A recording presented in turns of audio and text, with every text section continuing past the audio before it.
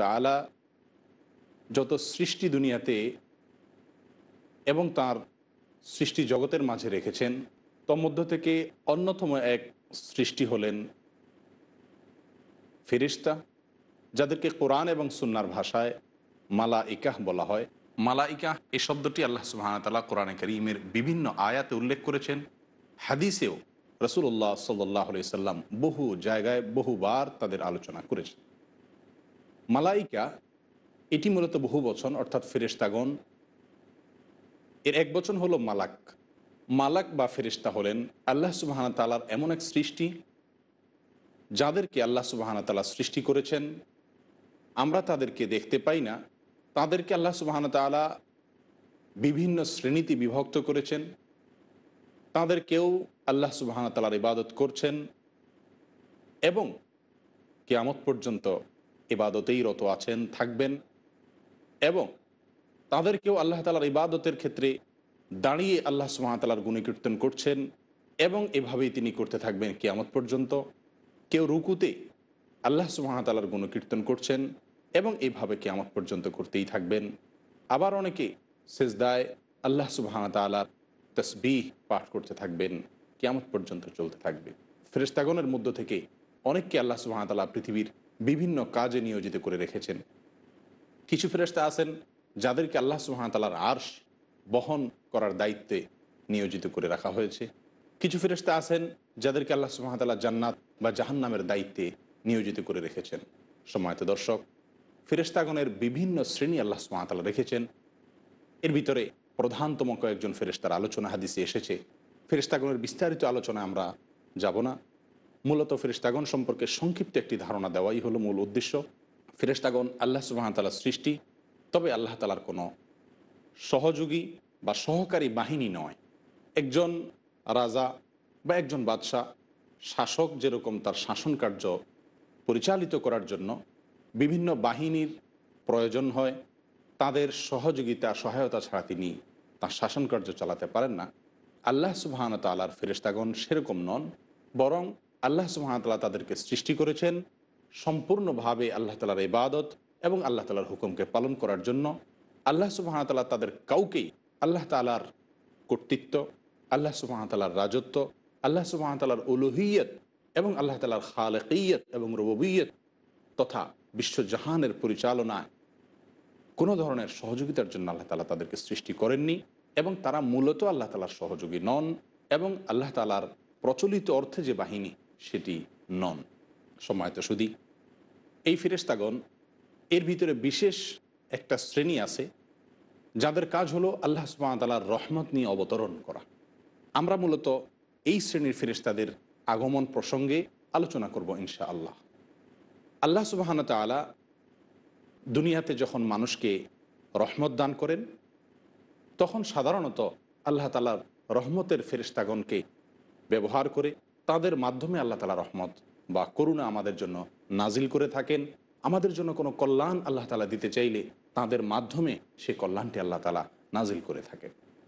এই ফেরেস্তাগণ আমাদের জীবনের সঙ্গে নানাভাবে জড়িয়ে আছেন। আমরা প্রথমে যদি আলোচনা করে নিই যে ফেরেস্তাগণ এর সাথে ফেরেস্তাদের সাথে মানব জীবনের সম্পর্ক কি? বা আমাদের জীবনে ফেরেস্তাদের ভূমিকা কি? এ বিষয়ে যদি আমরা প্রথমে আলোচনা করে নিই, তাহলে ভালো হবে। আসুন সে বিষয়ে আলোচনা করা যাক। ফেরেস্তাগণ আমাদের অনেক অনেক উপকারে আসে। আল্লাহ সুমতাল্লাহ ফেরেস্তাদের মাধ্যমে আমাদের অনেক উপকার দান করে থাকেন আমাদের জীবনে ফেরেস্তাদের ভূমিকার অন্যতম একটি ভূমিকা হলো ফেরেস্তাগণ আমাদেরকে হেফাজত করে থাকেন আল্লাহরের নির্দেশে। বিভিন্ন অনিষ্ট থেকে, বিভিন্ন ক্ষতি থেকে, বিভিন্ন বিপদ আপদ থেকে আল্লাহ সুমাতালা আমাদেরকে রক্ষা করেন। তার জন্য কিছু ফেরেস্তাকে আল্লাহ তালা নিয়োজিত করে রেখেছেন। কোরআনে করিমে আল্লাহ সুমাতালা ইরশাদ করেন, লাহু আকেবাত মেম্বাই নিয়ে দেই হমিন খলফি। মানুষের সামনে এবং পিছে আল্লাহ তালার মোয়াক্কেবাত নামক ফেরেস্তাদের বিশেষ দল কাজ করে থাকে। সাহাবি আবদুল্লাবনে আব্বাস রদি আল্লাহ তালা আনহু, যিনি কোরআন করিমের সবচেয়ে ভালো ব্যাখ্যা বুঝতেন, যার কোরআন করিমের ব্যাখ্যা অনুধাবনের জন্য। যিনি কোরআনে করিম যাতে ভালো করে বুঝতে পারেন, সেজন্য রসুল্লাহ সাল্লা সাল্লাম তার জন্য দোয়া করেছিলেন। আল্লাহ আল্লিমহল কিতাব। সে আবদুল ইবনে আব্বাস রদিল্লাহ আয়াতের ব্যাখ্যা প্রসঙ্গে বলেন লাহুম আক্কাবাত মিম্বাই নিয়াদেই অমিন খলফিহি। এর অর্থ হলো, আল্লাহ তালা কিছু ফেরেশতাকে নিয়োজিত করে রেখেছেন, যারা প্রত্যেক মানুষের সামনে এবং পিছন থেকে যত রকম অনিষ্ট এবং ক্ষতি তাকে আক্রমণ করতে আসে উদ্যত হয়, তাদেরকে সেই ক্ষতি থেকে রক্ষার চেষ্টা করেন।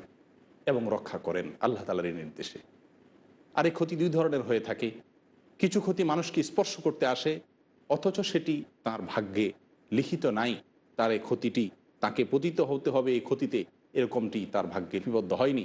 এরকম ক্ষতি থেকে রক্ষা করার জন্য ফেরেস্তাগণকে আল্লাহ সুবাহান তালা মূলত এ ধরনের ফেরেস্তাদেরকে রেখেছেন। আমরা আমাদের দৈনন্দিন জীবনে দেখি অনেক সময় যে আমাদের চোখের পাশ দিয়ে একটা জিনিস চলে গেল। সামান্যর জন্য আমাদের চোখটি রক্ষা হলো। হয়তোবা আমরা মনে করি যে এটি কাকতালীয় ব্যাপার। মূলত কোরআনে করিমের একাধিক আয়াত থেকে আমরা বুঝতে পারি, এটি মোটেও কাকতালীয় নয়। আল্লাহ সুবাহান তালা যে সমস্ত ফেরিস্তাগণকে আমাদের দেহরক্ষীর ভূমিকায় রেখেছেন, তারা মূলত আমাদের ভাগ্যের অলিখিত কোনো ক্ষতির আশঙ্কা বা আমরা ক্ষতির কাছাকাছি গেলে তারা মূলত আল্লাহ তালার নির্দেশে সেটি থেকে আমাদেরকে হেফাজত করে থাকেন। আর যখন আমাদের জীবনে এমন কোনো ক্ষতি আমাদের দিকে ধেয়ে আসে, যেই ক্ষতিটি আমার ভাগ্যে লিপিবদ্ধ রয়েছে, যেটি আল্লাহ সুবাহানা তালা আমার ভাগ্য লিখনে রেখেছেন, সেরকম কোনো ক্ষতি আসার ঠিক মুহূর্তে তারা আল্লাহ তালার নির্দেশেই সরে পড়েন এবং সেই ক্ষতি আমাদেরকে স্পর্শ করে। সময়ত শুধু কোরআনে করিম আল্লাহ সুবাহানা তালা স্পষ্টভাবে বলেছেন, ইন্না আলাইকুম হাফিদিন নিশ্চয়ই তোমাদের উপর কতিপয় ফেরেস্তা নিযুক্ত রয়েছেন, যারা তোমাদেরকে সংরক্ষণ করে থাকেন। একাদিসে আরসেল রসুল্লাহ সাল্লা সাল্লামের সাদ করেছেন যে প্রত্যেক ব্যক্তির সঙ্গেই একজন করে জিন, অর্থাৎ শয়তান নিয়োজিত থাকে, যে তাকে সব সময় অন্যায় এবং মন্দ পথের দিকে প্ররোচিত করে। এর বিপরীতে প্রত্যেকের সঙ্গেই একজন করে আল্লাহ তালার ফেরেস্তাও নিয়োজিত আছে। তাহলে এ সমস্ত আয়াত এবং হাদিস থেকে আমরা বুঝতে পারলাম ফেরেস্তা আমাদের জীবনে যে ভূমিকা রেখে থাকেন, তার ভিতরে অন্যতম একটি হলো আমাদেরকে আল্লাহ সুমাতালার নির্দেশেই, আল্লাহ তালার দেওয়া পাওয়ারেই, আল্লাহ তালার অনুমতি সাপেক্ষে বিভিন্ন ক্ষতি, অনিষ্ট, বিপদ আপদ যেগুলো অল্পের জন্য আমরা বেঁচে যাই লক্ষ্য করি, সেগুলো থেকে তারা হেফাজত করেন। আল্লাহ তালার নির্দেশেই তারা আমাদেরকে এই সংরক্ষণ করে থাকে। ফেরেস্তাগণ আমাদের জীবনে আরও অনেক ভূমিকা রেখে থাকেন। তার মধ্যে থেকে একটি হলো ফেরেস্তাগণ আমাদের জন্য ক্ষমা প্রার্থনা করেন আল্লাহ সুবাহতালার কাছে। আমাদের জীবনে যখন কোনো অন্যায়, অত্যাচার বা গুনাহের কাজ হয়ে যায়, তখন আল্লাহ তালার এই ফেরেস্তাগণ আমাদের পক্ষ হয়ে আল্লাহ সুবাহতালার কাছে সুপারিশ করেন। আমাদের জন্য ইস্তেকফার করেন। আমাদের জন্য তারা ক্ষমা প্রার্থনা করেন। আল্লাহ সুবাহতাল্লাহ বলেন ওল মালা ইকাত ইউসাবেহুন বিহামদি রব্বিহিম। আর ফেরেস্তাগণ তাদের রবের প্রশংসায় কোনো কীর্তন করেন, তসবিহ পাঠ করেন, পবিত্রতা বর্ণনা করেন এবং ওয়াস্তাগফিরুন আলিমংফিল অর্দ এবং তারা ধরাপৃষ্ঠে যারা আছেন ধরাপৃষ্ঠের, এই ভূপৃষ্ঠের অধিবাসী যারা, তাদেরকে, এই ভূমণ্ডলের অধিবাসী যারা, তাদের জন্য ফেরিস্তাগণ ইস্তেকফার করতে থাকেন, আল্লাহ তালার কাছে দোয়া করতে থাকেন। যেমনটি আল্লাহ সুমাহাদাল্লাহ কোরআন করিমে বলেছেন হুয়াল্লাদি ইউসল্লি আলাইকুম ওয়ামালা ইকাতুহু তিনি আল্লাহ, যিনি তোমাদের প্রতি রহমত অবতীর্ণ করেন এবং তাঁর ফেরেস্তাগণ আল্লাহ তালার রহমত নিয়ে আসেন তোমাদের কাছে। এবং এর এই অর্থ হতে পারে যে ফেরেস্তাগণ তোমাদের জন্য আল্লাহ তালার কাছে নেক দোয়া করেন। কল্যাণের প্রার্থনা সময় তো শুধু ফেরেস্তাগণ আমাদের জীবনে আরেকটি গুরুত্বপূর্ণ ভূমিকা রাখেন, সেটি হলো আমরা যখন সালাতে সুরায় ফাতেহা পড়ে থাকি, তখন সুরায় ফাতেহার শেষে যখন গারিল মাউদুবে আলিহিম ওয়ালদ্দলিন এটুকু তেলাওয়াত করি, তখন ফেরেস্তাগণ এই আয়াত তেলাওয়াত শেষে, সুরে ফাতেহা তেলাওয়াত শেষে সালাতে বিশেষ করে আমরা যখন জামাতবদ্ধ সালাতে আমরা যখন আমিন বলি, একসঙ্গে সকলে সমস্বরে, তখন ফেরেস্তাগণ আমাদের সঙ্গে আমিন বলেন।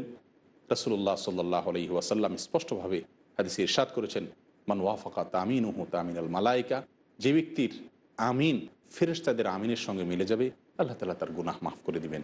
এখান থেকে আমরা বুঝতে পারি ফেরেস্তাগণ আমাদের আমিনের সঙ্গে আমিন বলেন, অর্থাৎ আমাদের দোয়ার সঙ্গে সায় দেন এবং আমাদের দোয়ার পক্ষে অবস্থান নিয়ে আল্লাহ সুবাহাত আল্লাহর কাছে আমাদের জন্য দোয়া করেন। সময়ত শুধু আমরা সুরা ফাতেহা আল্লাহর কাছে সঠিক এবং সরল পথ কামনা করি। এই সরল পথ প্রাপ্তির যে দোয়া করি, এই দোয়ার শেষে আমরা বলি, আল্লাহ আপনি কবুল করুন। আমরা আমিন বলি ফেরেস্তারাও বলেন, আল্লাহ আপনি কবুল করুন। তার মানে তারা আমাদের দোয়ার সঙ্গে সায় দিলেন। এখান থেকে বুঝতে পারলাম, আমাদের জীবনে ফেরেস্তাদের ভূমিকা অতীব গুরুত্বপূর্ণ এবং ইতিবাচক অনেক অনেক ভূমিকা ফেরেস্তাগণ মানব জীবনে রেখে থাকেন। সময় তো শুধু ফেরেস্তাগণ আমাদের জন্য বরকত নিয়ে আসেন আল্লাহ তালার নির্দেশে। আল্লাহ তালার কাছ থেকে এটিও মানব জীবনে ফেরেস্তাদের অত্যন্ত গুরুত্বপূর্ণ একটি ভূমিকা। ফেরেস্তাদের আরেকটি গুরুত্বপূর্ণ ভূমিকা হলো, শয়তান আমাদের কোনো ক্ষতি করতে চাইলে, আমাদেরকে বিপথে যখন নিতে চায়, তখন ফেরেস্তাগণ সেক্ষেত্রে সহায়তা করেন। শয়তানকে তারা প্রতিরোধ করেন, শয়তান থেকে আমাদেরকে রক্ষা করার প্রাণপণ চেষ্টা করেন এবং আল্লাহ সুবাহতালার বাতানো পথে তারা আমাদেরকে সঠিক পথের পথ নির্দেশ করতে থাকেন সম্মানিত সুদী ফেরেস্তাগণ আমাদের অন্তরে আল্লাহ তালার নির্দেশ সাপেক্ষে প্রশান্তি অবতরণের ভূমিকাও রেখে থাকেন। এবং একইভাবে আল্লাহ তালার নেককার এবং প্রিয় বান্দাদের জানা যায় অনেক সময় ফেরেস তারা হাজির হয়ে থাকেন। এবং সবচেয়ে বড় দিক যেটি, সেটি হলো আল্লাহ সুবাহানা তালার পক্ষ হতে সবসময়, যুগে যুগে পৃথিবীর সৃষ্টি থেকে এই পর্যন্ত মানব জাতির জন্য সবচেয়ে গুরুত্বপূর্ণ যে জিনিস আল্লাহ তালাকে পাওয়া এবং জান্নাত লাভ করার যে পথ, সেই পথ বাঁধানোর জন্য ফেরিস্তাগণ আল্লাহর কাছ থেকে দিক নির্দেশনা তথা ওহি নিয়ে যুগ যুগ অবতরণ করেছেন সম্মানিত দর্শক, আশা করি এ বিষয়টি অন্তত ক্লিয়ার হয়ে গেছে যে একজন মুসলিম এর জীবনে আল্লাহ সুবাহান তালার নিয়োজিত রহমতের ফেরেস্তাগণের অনেক অনেক ভূমিকা রয়েছে। সে বিষয়ে